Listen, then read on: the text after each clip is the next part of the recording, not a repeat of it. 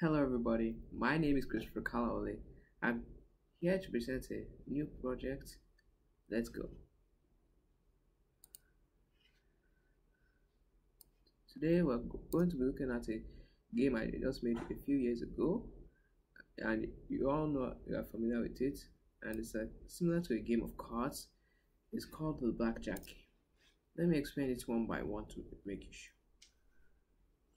First, you import random.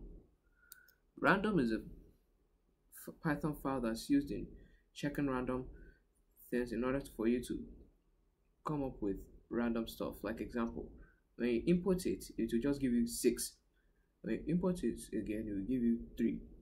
When you input again, it will give you five. Like that, like that, and so forth. So this we skipped one line, and as I said in the last video, let me do that again. So suits, hearts, diamonds, spades, and clubs.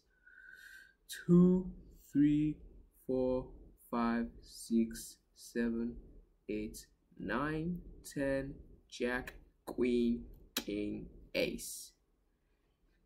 You are familiar with cards. If you are familiar with cards, you might already know from 2 to 10, jack, king, queen, and ace. So if you want to play the game, here are the values. The number 2 card are 2. The number 3 card are 3. The number 4 card is 4. You get it all the way to 10. Then Jack is 10. Then the Queen is 10.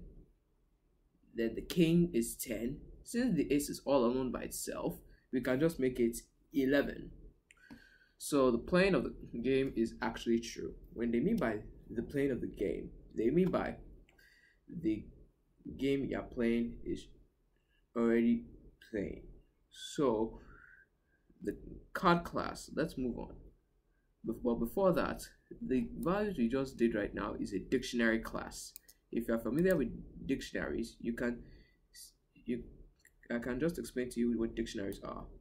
Dictionaries are used in storing values like alphabets and numbers etc. Like example, like the one we just did, 2, 2. This one is a string, this one is an integer. If you want to also do numbers and floats, whatever you want, but it must be a value.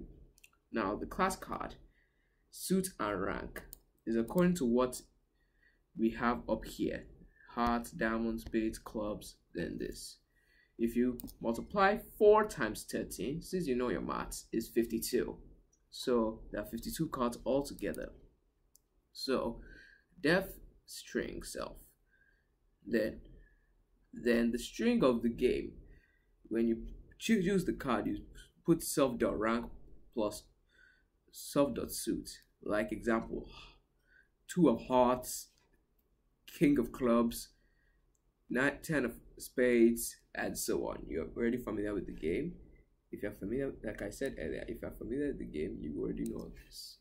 So def in itself, self dec equals to empty list, like somebody wrote here, empty list. So for suit in suits, for rank in ranks, you have to build the card objects and add them to the list. Self.deck.append. Let me explain that part. A deck of cards is an empty list. So you are building on this list in order for it to show on once you run it. So the string deck comp equals to start with an empty string. Yes, it's true. If you don't start with an empty string, it to, the thing will have a bit of error and you have trouble playing the game. So deck for card in self.deck, deck composition equals plus equals to slash n. Let me explain that term since you are not familiar with that. Slash n is stands for the new line. When you're creating something like example, you put my name is that column column slash n then you put my name then once you run it you put it uh, you see it two lines there that's how it is in the programming world. So return the deck has plus deck composition. So the deck has plus deck composition. Like it has here, the, deck comp, like we have on top of here, like it's saying the deck has how many cards. Oh, like the comp cards are like how many cards are there. Then it's now random's turn to do its own special. Like we put here before, random. Random is a very important card. It shuffles things. Thanks for explanation. The code, it helped me explanation. Now, random dot shuffle equals to self dot deck. So what it will do in this process is it will shuffle the deck to see which result it will give out once it once it gives you your card. Actually, the shuffle of the cards is to for the computer to give you your card so you can start playing the game. So def deal single card equals to deck dot pop. Then the card pops and you return your single card, like it said in the code 52. So tech test deck equals to deck, like a deck of cards. Print test deck. Now, example for the list of terms that you already know in cards. Deck chips hand it's bets exact etc you already familiar with that? So class hand. Def in itself. Self dot cards none is an empty list. Value equals to zero and itself dot is equals to zero. So you know the reason why we're doing this? If you are not listening, let me try and tell you again. The reason is because if you add something when you start it, it will give you a huge error and you will not be happy at yourself either.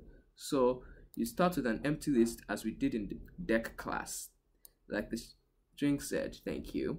Where's the deck class anyways? There it is, the self.deck class. We did an empty list there. So the same thing for the value. You start with a zero value because if you put any other figure, the same thing happens. So self.aces, add an attribute to keep track of aces. Let's go to the next set. Def add card, self card, self dot cards append card. So the cards the append is for appending all the cards you have uh, as the title. So def adjust for ace nothing will be there except pass. Pass is just a function for nothing. So test deck equals the deck. Everything is prepared here from line 73 to line 78. Let me explain that part very well. Test deck equals the deck here is because of the class. All of them are according to class. Tech, test deck equals to shuffle. This shuffle is for random. Meanwhile, test player equals to hand. Meanwhile, the test player dot add card test deck dot deal test player dot add card test deck dot deal. It looks like the same thing except different. So test player dot value for card and test player dot cards print the card. So that means for carding, like saying for carding cards print card is a for loop. It's like saying a for loop. So for player, for carding what the player has, it will print out all the cards that the player already has. So class of chips. Let's enter the chip class. Def in itself. Self dot total equals to 100. Hmm. This can be a set to a default value or supplied by user input. Like it says here, this can be a set set to a default value or simply a user supplied by user input. So self.bet equals to zero. It's supposed to be zero like I told you. Def win bet self. Self dot total plus equals self bet. Now let me explain that part. So whenever you win the bet in cards, it will give you the total of what you already had. So if you lose the bet, it, it will minus the total minus from your bet. So take bet equals the, to the chip class. Where's that chip class? Here it is. So def take bet. While true, try this. and also we're doing the try because of errors whenever you're handling errors you have to use try and value error or else it will give you a complete error and you will not be able to play the game just telling those who are trying it if you don't try it you're seriously going to get an error error. All these times it's optional. But seriously if you don't add all these you don't have to run your program again. So def.takebet equals to chips. So while true try th this instead. Chips.bet equals to int input. How many chips would you like to be in your bet? And you ask you for that then if it's not an integer or a float if it's an if it's an alphabet or a float they say please sorry can please let this be an integer. Let me add that here right now. Please sorry. A, a bet must be an integer in order to play the game. So if chips.bet is greater than chips.total sorry you your bet cannot exceed chips.total so if you're let me see that bet again. Chips.bet oh there it is. Chips.bet equals to zero. Sorry your bet cannot exceed. So if it's greater than the total i'm sorry but if it exceeds 100 you bet cannot exceed. If it tells you that sorry you cannot play a game and you have to quit the project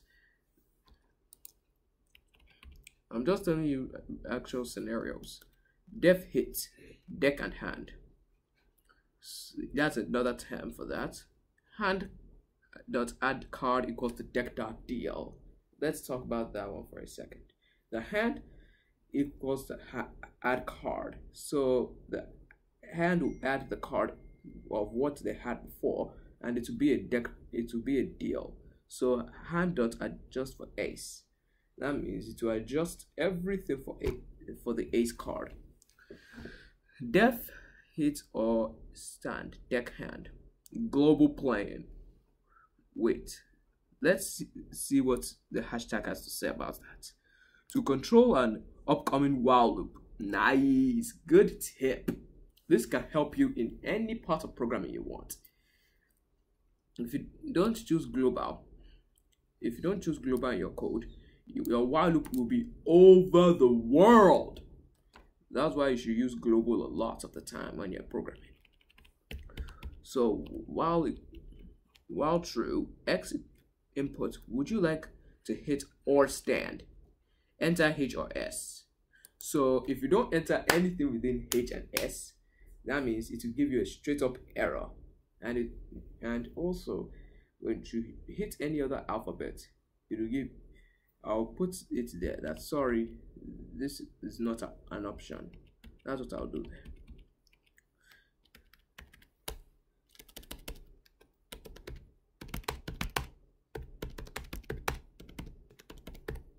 Sorry this is not an option like I added. If x 0 the lower equals h hit hit deck hand. So if you choose to deck if you choose to hit the deck and hand, that means you have already lost or won anyways. So if x0 dot lower equals to s, that means only one thing. player stands and dealer is playing. And it, also the plan will be false by then. So like I said earlier, if you don't hit any of those alphabets to say, sorry, this is not an option at all. Let me add that one. Continue continue and break. Break is mostly for while loops if you don't if you don't know. Because if you don't hit break your while loop will be out of this world. And continue is to continue the game. So def shows sum player and dealer. Print new line dealer's hand. Let me add that. Sorry if i may excuse me. Show sum player and dealer slash and dealer's hand card hidden so that means if you show the, some of the some of the cards the dealer has and some of the cards the player has So let me tell you who's the dealer and who's the player. If you're playing the game, you and I are the player. Meanwhile, the system you are using is the dealer itself. So if you see this blank string here, dealer cards one. If you don't put if you put anything there, you might not be able to play the game again. so players new line players hand times player dot cards. So seps equals to slash n. So that means we'll do new lining a lot. Def show all. It will show all the cards that each of the dealer and the player has. Like dealer's hand now. Dealer's hand. Dealer dot cards sep slash n. Dealer's hand equals to dealer dot value. That means it will give you all the value of the dealer's hand that will give you all the value of the player's hand. Like I said it, it will give you the player's hand and the player's dealer's hand. So player busts, dealer and chips. So when they say a player busts, that means the player loses the game. So def player wins, player, dealer, and chips. So as for that function, player wins. When the player wins, you win the game and the computer loses a lot. Let me just add that.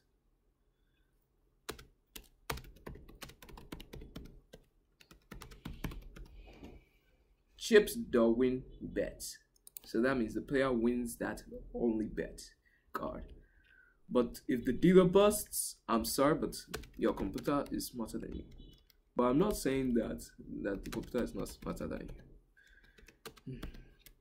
Anyways, let's continue the, the course.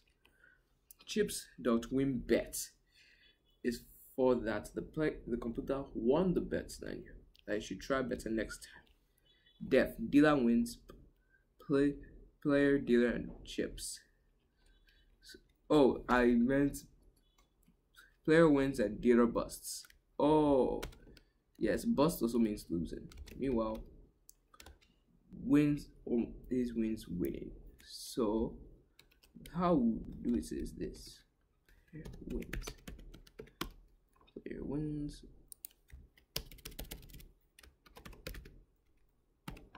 Either player. But what if it's a draw? Like they always do in football, like a tie Yes. So def push, dealer and player tie. It's a push. That means it's already a win-win for both of them. So dealer wins and player always loses. So that's how cards work. They work in different ways. Dealer, dealer wins and dealer wins. It's a tie. Tie. It's a push.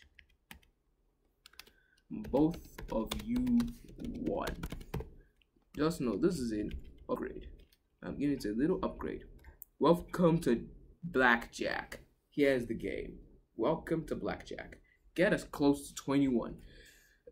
You can go without going over new line, then it will give you the next line. But let me just name it after myself.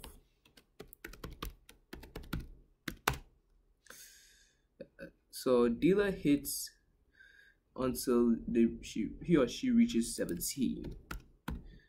Aces count as 1 or 11. Yeah, like we mentioned earlier, aces can count as 1 or 11. If you don't want to name it 11, just name it 1. Simple. So let's go down there and read the rest of the instructions. Deck equals to deck. Deck dot shuffle. Player hand equals to hand. Player hand dot add card equals to deck dot deal. Player hand dot add card equals to deck dot deal. Then dealer hand. Hand. The same thing for two of them. Whatever happens to the player also happens to the dealer. So let's just start player chips equals to chips. Not a, like a bag of chips, like some of you think. take bets on player chips. That means the player takes the bet and the player starts the game. Show some player hand and dealer hand. That means they'll show some of the player's cards and show some of the dealer's cards. Well, and while playing that game, hit or stand, deck and player hand. Show some, like we explained earlier, some of the player and some of the dealer's cards. So, if play, player hand of value is greater than 21, player busts, player hand, dealer hand, and player chips, and will take a break. Player hand, it, the value is less than equal to 21, while dealer hand is less than 17, hit deck dealer hand. Show all cards.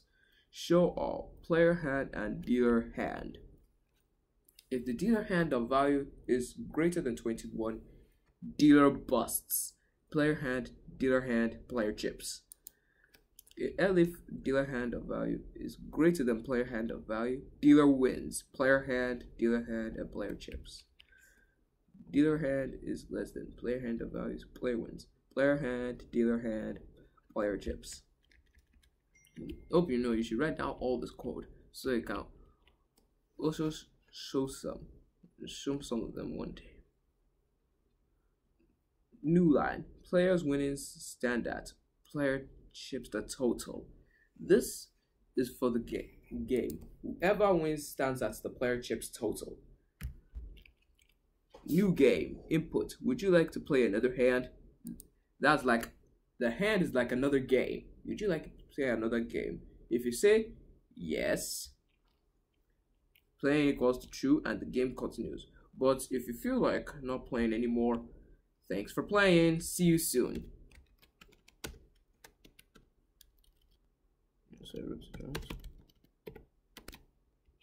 And it will take a break. And that's all the code you need for this card game. Let me now run the code to see if it will work.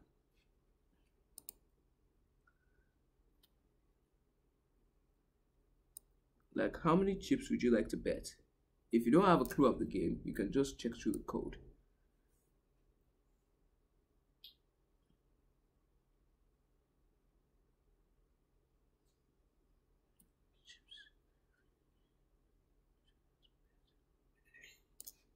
I'd like to bet 18. I'd like to hit. Players winning at 82. Please let me win this game. This is so much fun. Dealer one. Oh man. i like to play another one. Mm, 21. I like to hit. Oh, again. You can play this game as many times as you can. But ensure you don't lose the game. I like to stand. Oh my god. I hold on. There's something wrong. Let me go check up. I was playing player dealer busts and player win. Oh sorry. That won the game already. Now let's run that game again. We're gonna come in again. Let's see how it work. Oh, like to stand. I won, finally. Now, that's the touch of the game. When you create this project, you might feel ha happy about yourself because you have already made something, created something new out of it. So, then for today's video, now let me go to my conclusion. Now the conclusion to this project I made and showed you right now is about a deck of cards. If you're familiar with the game, you would play it with PyCharm. And once you play it with PyCharm, it will give you a clue of what to do in the actual game, and then you might win the dealer that's playing you. So that's my own conclusion. Keep programming and you sure get it someday. Bye. See you soon. This is Christopher Kolawole's channel and stick tuned.